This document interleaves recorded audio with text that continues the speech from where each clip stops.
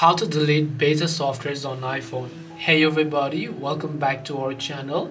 In today's video i will guide you through the steps on how you can delete beta softwares if you are a beta user on your iphone so make sure to watch the video till the end. To delete beta softwares on iphone all you have to do is simply open the settings app here and once you open the settings app just tap on the general tab here. Once you go to the general tab go to the option called software update and over here if you have any sort of updates available you'll find them. And if you are a beta user you'll find beta updates option. It could have been set to on. So make sure to turn off beta update by selecting the off option here. In my case I've already turned it off. And after you do that only you can try to go ahead and then turn on automatic updates and update the stable version. This way you should be able to turn off beta updates on iPhone Hope this video was helpful. If you have got any questions, feel free to leave them down below. Thank you for watching till the end and see you soon in the next video.